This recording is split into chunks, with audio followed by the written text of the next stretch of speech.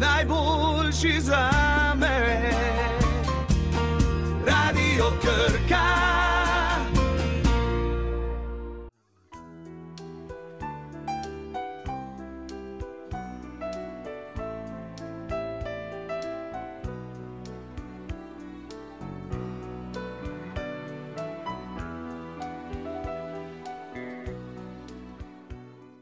dreves v parku Julija. Tale zasaditev poteka v sodelovanju s podjetjem Ursa Slovenija. Danes sta z nami župan mestne občine Novo mesto, gospod Gregor Macedoni in direktor podjetja Ursa Slovenija, dr.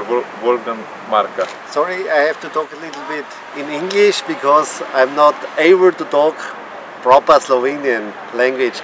So we as multinational company, we are very happy to support uh, such an event.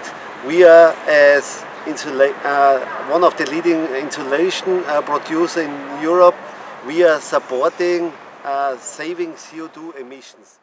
Po evropski regulativi, po zmanjšanju CO2 -ja, 20 odstotkov manj do leta 2020, se tega dobro zavedamo tudi v multinacionalnem podjetju URSA,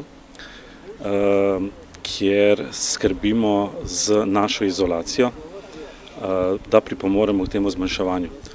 Poleg proizvajanja izolacijskih materijalov, steklene volne in ekstrudiranega polistirena, smo se letos odločili za slogan Ursa Goes Green in te tako podelili vsem našim zaposlenim pametne ure, s katerimi spremljamo njihovo aktivnost ravno po zmanjševanju tega CO2, tako da se ne vozijo z avtomobili v službo, ampak prihajajo peš oziroma z kolesi.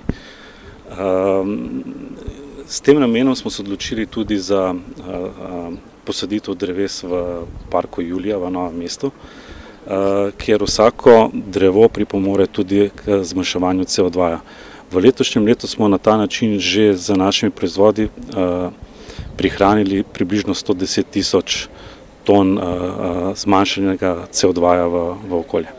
Danes smo tukaj na zelenici pod Tušom, kjer počasi nastaja bodoči park Julija, naredili naslednji korak, zasadili deset novih dreves, predvsem je seveda pomembno, da, to, da je to podprlo lokalno podjetje, podjetje Ursa, ki tudi sicer s svojimi proizvodi skrbi za energetsko učinkovitost in s tem tudi ohranjanje naravne dediščine. Je pa prav, da tudi mi v mestu skrbimo za zeleno podobo mesta. Novo mesto je sicer zelo upeto v naravno okolje, pa vendar ni nepomembno, da imamo tudi površine, kjer se da aktivno biti v, v parku, kjer, se, kjer imamo tudi drevesa v samem mestnem jedru. Tako smo za zadnjo prenovo celo nekoliko povečali število dreves na glavnem trgu.